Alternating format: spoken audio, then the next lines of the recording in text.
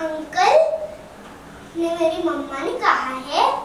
कि कोई भी अनजान अंकल या आंटी से